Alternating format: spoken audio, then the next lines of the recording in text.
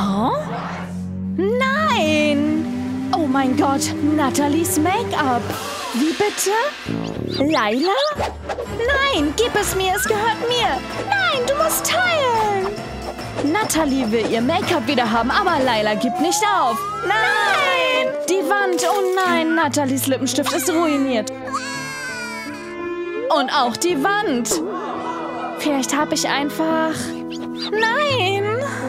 Natalie versucht ihn abzuwischen, aber das macht es nur noch schlimmer. Oh mein Gott, das ist alles deine Schuld. Nein! Laila ist bereit, sich zu wehren. Aber halt! Die Poolnudel bringt Natalie auf eine Idee. Ich weiß was. Lass mal sehen. Natalie schneidet die Nudel in zwei Hälften, bringt LED-Lichter in der Mitte an und befestigt sie an der Wand. Wahnsinn! Sie hat einen Regenbogen aus den Nudeln gemacht. Und ein paar Wolken am Ende. Wahnsinn! Das ist sehr niedlich und hübsch. Jetzt können sich die Mädchen entspannen und ein bisschen Geschwisterzeit miteinander verbringen. Mama räumt ihren Kleiderschrank auf, während Laila auf dem Boden spielt. Was ist das denn? Kit!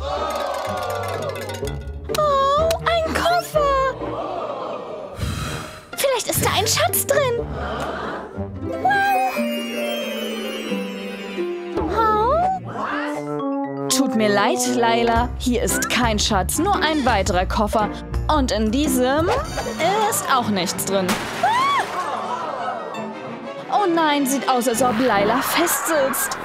Was? Schnell, Mama, du musst Laila befreien. Komm, komm, ich werde dir helfen. Gar nicht so einfach. Oh, geschafft. Oh, dieser Koffer. Mama ist bereit, ihn wegzuwerfen. Aber dann... Oh, ich hab's. Es sieht aus, als wolle Mama diesem verstaubten Koffer ein neues Leben geben. Sie nimmt etwas Farbe. Okay, jetzt bin ich ziemlich neugierig. Viel besser. Aber das ist noch nicht alles. Mama dekoriert den Koffer mit ein paar Aufklebern. Das ist schön. Ein flauschiges Kissen und noch ein herzförmiges Kissen.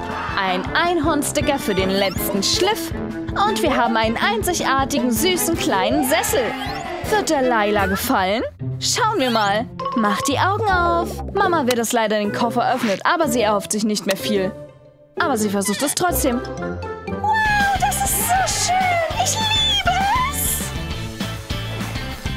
Juhu, Laila mag es. Oh, es sieht so gemütlich aus. Die Umgestaltung war ein Erfolg. Oh, was haben wir denn hier? Laila ist im Zimmer ihrer Mama und probiert den ganzen Schmuck von ihr aus. Aber du legst ihn besser zurück, denn Mama kommt gleich. Oh nein! Schnell, Laila! Du willst doch nicht in Schwierigkeiten geraten. Puh, gerade noch rechtzeitig. Ist fertig zum Aufbruch, aber sie braucht noch einen letzten Schliff. Ich brauche eine Halskette. Schauen wir mal. Mama sieht, dass ihr ganzer Schmuck verheddert ist. Und es würde ewig dauern, ihn zu entwirren. Oh nein, ich sehe schrecklich aus. so sieht es lächerlich aus. Oh, was soll ich tun? Ha? Ein Stickrahmen? Ich weiß. Mal sehen, was Mama sich ausgedacht hat. Sie nimmt den Stickrahmen und legt etwas Stoff darauf. Befestigt ihn mit einem zweiten Rahmen nimmt eine Schere und schneidet den überschüssigen Stoff ab. Sie nimmt ein paar Perlen und klebt sie zur Dekoration an den Boden. Das sieht interessant aus. Jetzt nimmt sie noch etwas Heißkleber und fügt ein paar hübsche Bänder hinzu.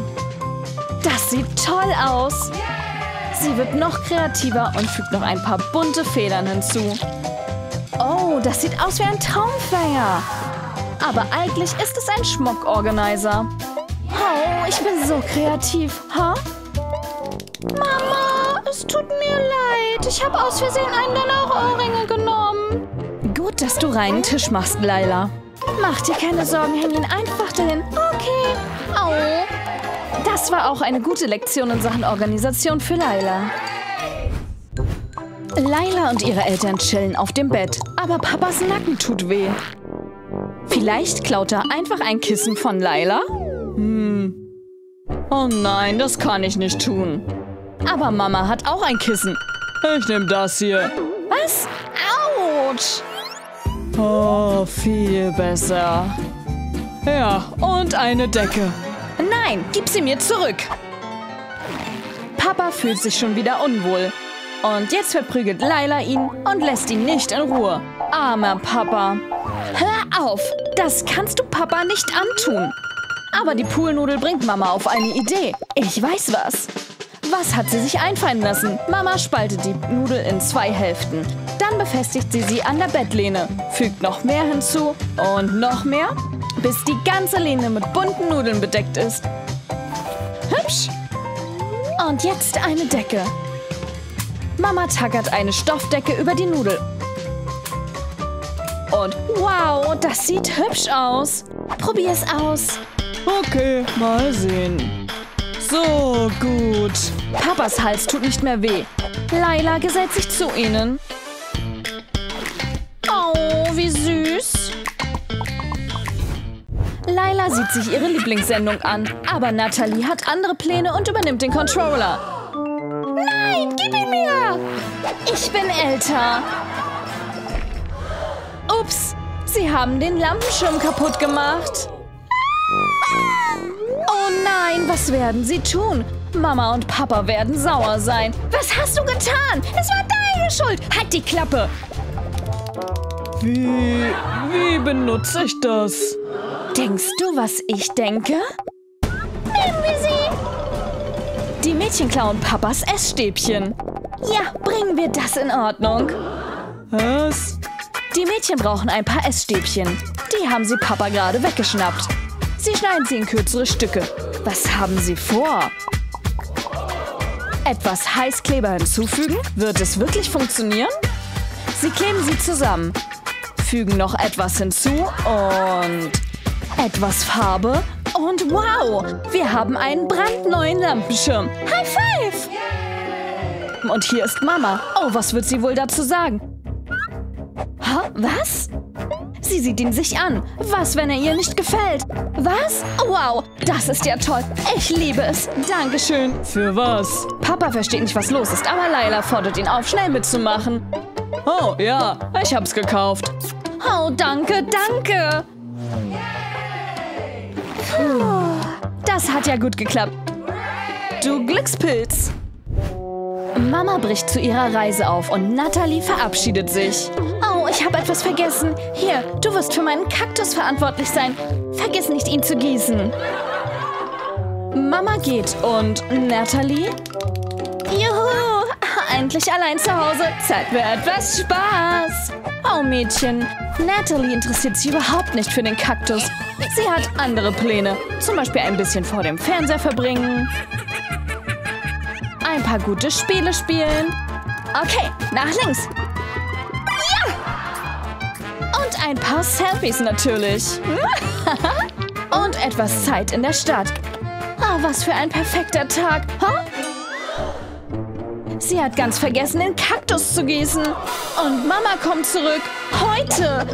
Es scheint, als ob Natalie in Schwierigkeiten steckt. Komm schon. Ich glaube nicht, dass das helfen wird. Er ist schon tot. Oh, ich weiß. Poolnudel? Gehst du jetzt schwimmen?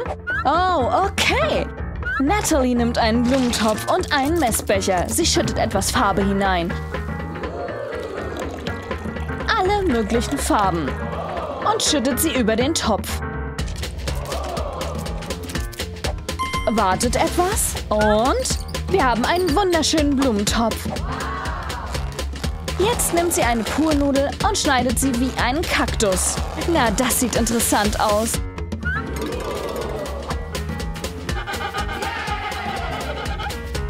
Dann steckt sie einen Holzstab hinein und bemalt die geschnitzte Nudel.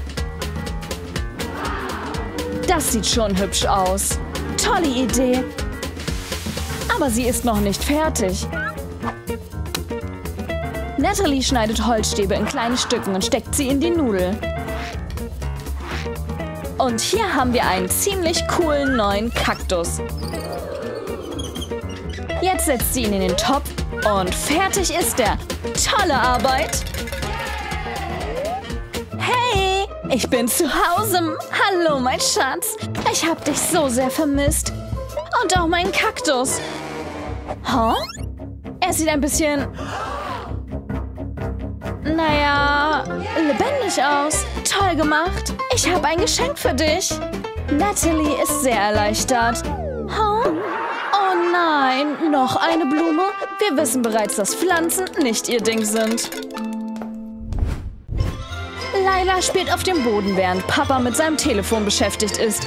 Oh ja, ich werde gewinnen. Hau, so langweilig. Laila ist nicht glücklich darüber, ganz alleine zu spielen und bittet Papa, ihr Gesellschaft zu leisten. Aber du weißt ja, Gamer. Aber sie gibt nicht auf. Komm schon, Papa! Okay. Ah! Papa hat sich auf die Legosteine gekniet und wir alle wissen, das tut sehr weh. Wie ist es möglich, so zu spielen? Zeig mir deine Knie. Was? Nee. Mein armes kleines Mädchen. Papa muss etwas dagegen tun. Okay, versuchen wir es mal so. Knie dich hin. Ein bisschen besser, aber Laila fällt einfach von der Nudel. Nein, ich will das nicht. Hm, leider hat das nicht funktioniert. Aber vielleicht fällt Papa ja noch etwas ein. Hm, was wäre wenn... Ja, ich weiß schon. Ich glaube, Papa hat die Lösung. Er nimmt eine Poolnudel und schneidet sie in zwei Hälften. Nun, das sieht interessant aus.